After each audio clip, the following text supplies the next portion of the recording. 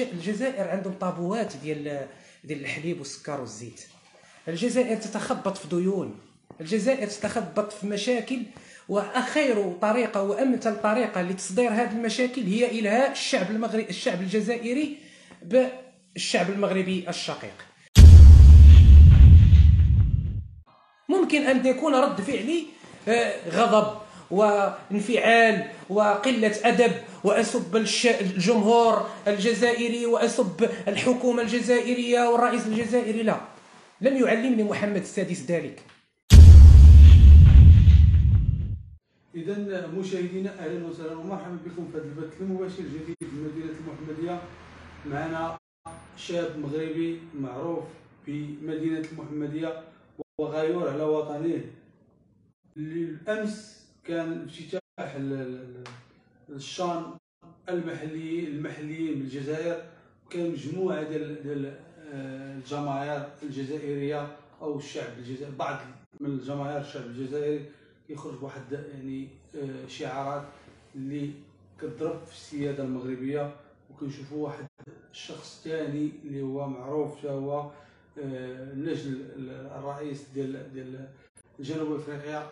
حتى هو كيتكلم على المغرب يعني انت كشاب مغربي كيفاش هاد التصاريح هادو كيفاش هاد طيب بسم الله والصلاة والسلام على سيدنا محمد وعلى آله وصحبه ومن والاه شكرا للاستضافة ديالكم في المنابر الغيورة اللي نزيهة وعندها مصداقية واللي كتفتخر بها مدينة المحمدية.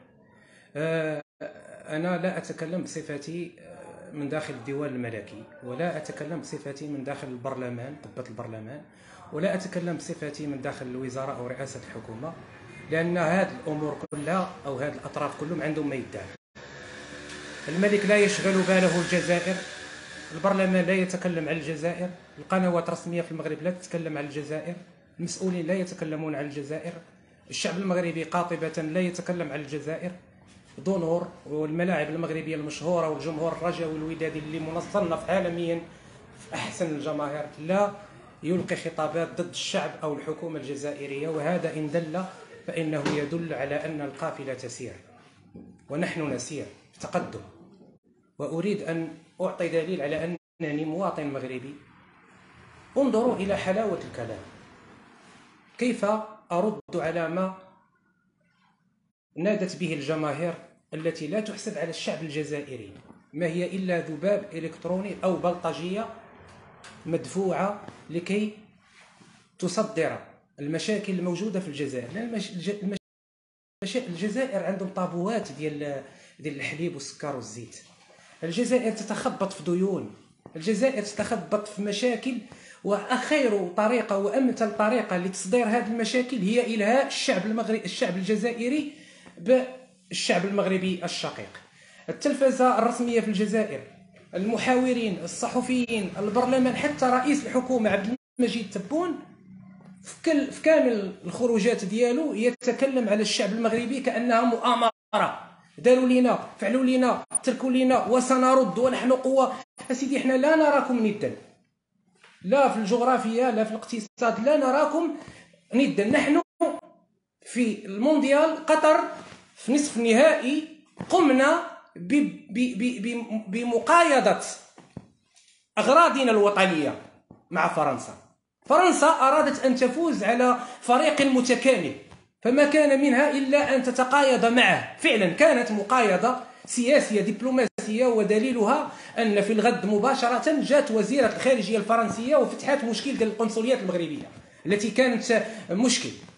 مسؤولين ودبلوماسيين وطلبة وطلبة يريدون أن يرحلوا إلى الخارج وفنانين وممثلين ومغاربة وأطباء يريدون أن يذهبوا إلى فرنسا وهناك شروط تعجيزية ومشاكل في القنصليه بسبب أن المغرب انفتح على بريطانيا وانفتح على أمريكا وانفتح على إسرائيل وانفتح على دول أوروبا ولم تصبح فرنسا هي يعني المتعاقد الوحيد في الاقتصاد المغربي وهذا أضر بالاقتصاد الفرنسي الذي كان يدر على خزائنه أموال كثيرة في التراموايات وفي مجموعة القطار TGV إلى آخره. أريد أن أعود بكم إلى التاريخ لكي ندرس شخصية الجزائري أو شخصية الكابرال أو شخصية الجنرال ونفرق بين الشعب الجزائري الشقيق والجنرالات الجزائرية. في سنة 1975 أي تقريبا بعد شهر من المسيرة الخضراء التي آه، أثبتت حنكه الحسن الثاني رحمه الله بأن استرد حصة الأسد من الصحراء المغربية بطريقة سلمية استجاب الشعب.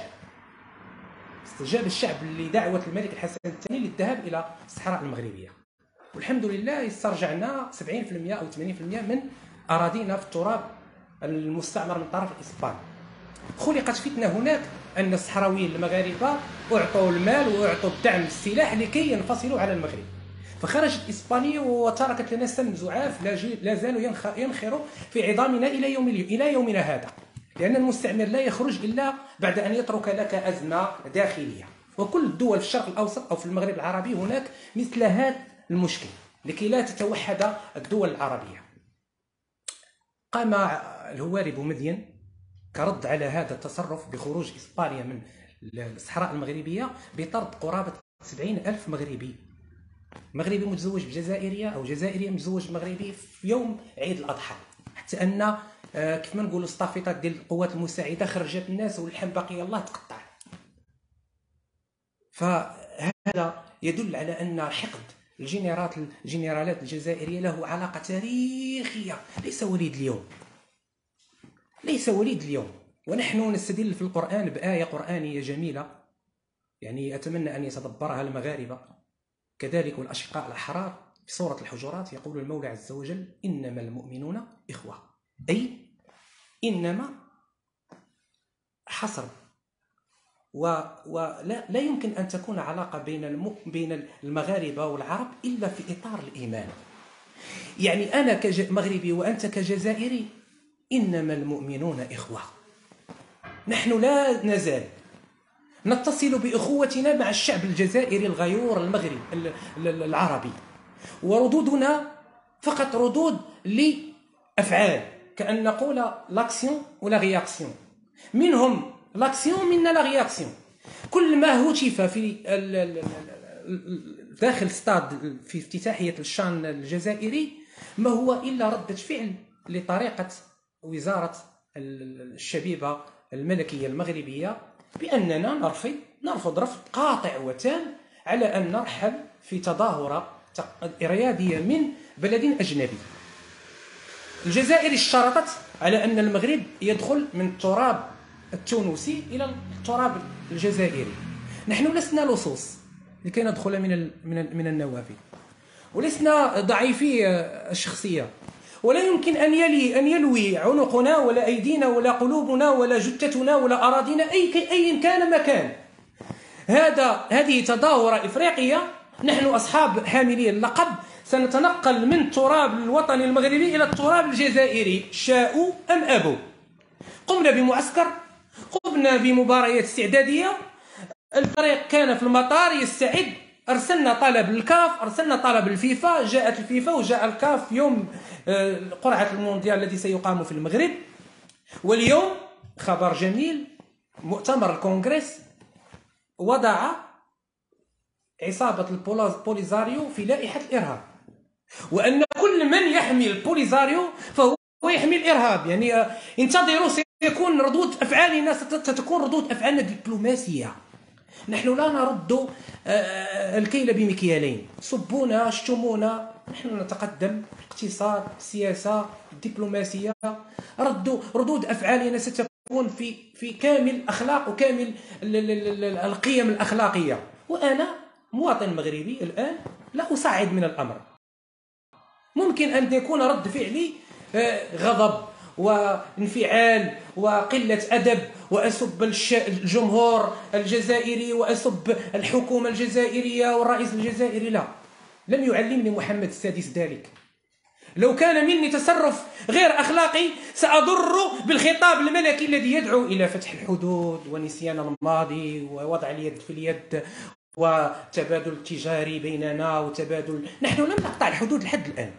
أي جمهور يأتي حتى الجمهور المنتخب الجزائري الذي لعب لعب مباراة في مراكش استقبل استقبالا جميلا ووضع له في لائحة الطعام طعام جزائري يليق به. وحتى بالماضي المدرب الجزائر لما قال وأثنى على الاستقبال المغربي لم لم لم يقبله الجنرالات الجزائرية. ومن مديرين الصحف ومن مديرين القنوات الجزائرية من ينقل خبر جميل على المغرب يقال مباشرة. وهذا ليس لدينا في في نحن كشعب مغربي كأننا لسنا في شمال إفريقيا. لم نستقبل عداوتهم باستقبال باستقبالهم كما يستقبلونها هم بالسب والشتم والقذف وسبنا ب آه، أردل المسبات. أما فيما يخص الشق الثاني من الموضوع وهو آه، استعمال الجزائر للنجل مانديلا وتسمية تسمية الملعب باسم مانديلا هو عنده علاقة تاريخية كذلك. فالمغرب مع جنوب إفريقيا هناك مشاكل وتوتر وكثير من الباخرات والأساطير التجارية محبوسة في جنوب إفريقيا. وجنوب إفريقيا تمول الإرهاب البوليزاريو وتعترف بالبوليزاريو وتريد أن تمزق المغرب اربا اربا فتسمية ملعب الجزائري بمانديلا آه مقابل مادي. وهذا يدل على الجزائريين مع الجنرالات الجزائرية يدا مع يد مع كل من يسيء إلى المغرب. سواء كان جنوب إفريقيا أو كانوا إرهابيين من داعش يدخلون من مالي ويأخذون تداريب في الجزائر ويرجعون لفعل أفعال إرهابية. تصريحه هو تصريح مرتزقي. يزيد التأكد بأن للمغرب أعداء المغربي أن يعي بخطورة الأمر وأن لا يرد إساءتهم بالإسلام لأنهم يريدون أن يجروك إلى تراب وإلى ملعب السب والشتف والقذف وإراقة الدماء. أنت تنتصر في جميع المحافل وهم يريدون أن يوقعوا بك في مستنقع الدماء. والمغرب الحمد لله في الحموشي وفي الناس المسؤولين في التراب الوطني ولا ديستي والأقمار الاصطناعيه وتعاقدات مع إسرائيل وأمريكا وأوروبا أن لهم ذلك. سنفوز بصحرائنا. ونضم الصحراء إلى التراب الوطني بالدبلوماسية. ولن نرسل رصاصة واحدة حتى نستوفي منهم جميع شروط الصبر وجميع الموافقة العالمية للأمم المتحدة على أننا مظلومون وسننتصر بإذن الله. آه الموقف ديالنا كنبشرك كنبشر الشباب المغربي بأن التراب ديال الصحراء المغربية يعج بالخيرات بالنفط بالغاز. السؤال الذي يطرحه كل فيلسوف ما السبب الذي يدفع العالم كله عربا كجوار الجزائر وأجانب كأمريكا وإسرائيل وفرنسا وبريطانيا وإسبانيا على التنافس على تلك القطعة الأرضية التي ليست فيها إلا الرمال؟ الجواب على ذلك ما تحت الرمال هو الذي يهمهم لأن بالمسح الإلكتروني والأقمار الاصطناعية تم التوصل إلى أن الصحراء المغربية فيها خيرات قد قد تنسي الأوروبيين في الشرق الأوسط. كل ما في اليمن والعراق والسعودية والدول البترولية موجود تحت الصحراء المغربية. هم لا يتنافسون على حبة رمل لا يريدونها. هم يريدون ما تحت حبة رمل الذي هو عصب الحياة والذهب الأسود. الجزائر مدفوعة من فرنسا ومن إيران ومن روسيا تحت الخط. لأن البوليزاريو الذي يريد أن ينفصل على المغرب وتكون له سيادة تامة على الصحراء المغربية ليست لديه أدمغة ولا مهندسين ولا قوة لكي يستثمر ما تحت الرمال. إذن سيعطي حصة الأسد لأسياده وأربابه الذين يدفعونه لكي يمزق المغرب. تمزيقا ففرنسا تريد حصتها وأمريكا تريد حصتها والآن المغرب. لماذا لديه مشكل مع فرنسا؟ لأنه لا يدرج المغرب لا يدرج فرنسا في الحصة التي ستكون في الصحراء المغربي وهذا ما أثار حافظة فرنسا لأن المغرب لو وضع يده مع فرنسا واتفق معها في اتفاق وعقد معها عقد على أن الصحراء إذا حررت وكان لفرنسا يدا في تحريرها فلكم فيما ستستخرجونه من الصحراء 30% أو 40% لقالوا لبيك وسعديك ولكن المغرب لا يريد إعادة المشاكل التي كانت أيام الاستعمار الفرنسي والإسباني. وجد ضالته في الدولة الأمريكية ووجد ضالته في إسرائيل لأن المغرب له علاقة تاريخية مع إسرائيل لأن هنا توجد أضرحتهم ولهم في لهم عندنا ميراث آه، تاريخي وميراث ترابي. يعني وجدنا أننا لو تعاقدنا مع إسرائيل وأمريكا سنسترجع الأقاليم الصحراوية ولما لا سبته ومليليا ولما لا جيلنا القادم قد يفك عقدته مع أمريكا وإسرائيل ويكون لأبنائنا ولملوكنا إن شاء الله القادمون. السلطة والكلمة الأولى والأخيرة وحصة الأسد. اذا فرنسا تقلق على ما تحت التراب آه، الصحراوي. فرنسا ليس لها متحف ليس لها منجم للذهب وتحتفظ على وتأخذ وعندها أكثر احتياط ديال الذهب في, في, في أوروبا. من أين لها هذا الذهب؟ من مالي ومن الدول الاستعمارية التي استعمرتها. اذا فالموضوع بين ونحن الحمد لله طلبة ومجازين وحتى أبسط الشعب أبسط يعني الفرد المغربي يعرف أن الصحراء هي مستقبل المغرب. الرسالة اللي كنوجهها للشعب الجزائري الشقيق حنا الحمد لله بسبب الجزائر صادفنا مولاي عبد القادر الجزائري لما كان يعني يتعارك مع فرنسا وبسبب مولاي مولاي عبد القادر الجزائري وقعنا في الحماية نظام الحمايه ديال فرنسا. ما تنساوش رحنا خوتكم وحبابكم ونفس اللهجة ونفس العرق ونفس المكان ونفس الدين. والمشاكل ديالكم خصكم تحلوها وما تخليوش الجنرالات ينسيوكم في الخبز وفي الزيت وفي الدقيق وفي فرص الشغل.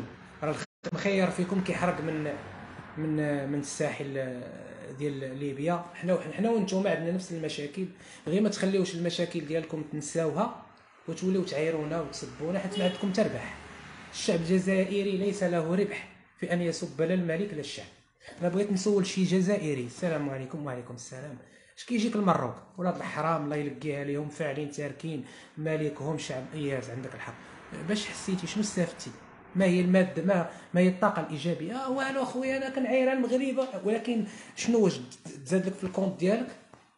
أختي شي عقار؟ ياك انت مريض وبوك فيها la dialyse وبوك فيه ال cancer عندكم شي مستشفيات؟ عندكم شي طرقان؟ عندكم وصلكم الموت لا ما وصلنا لا ما لا ضو ما وصلنا ولكن آه كنعاير الشعب المغربي. واش بيني وبين الشعب المغربي؟ كيفاش وليت نعاير الشعب المغربي؟ والله ما عرفت. الجزائر يقول أنا أنا بحال تواردت المعيور كأنني مغسول من الدماغ ديالي كأنني تبروغراميت كالحمار المغرب المغرب المغرب. حنا الآن نقول الجزائر الجزائر عندي مشكل في الجزائر اش بيني وبين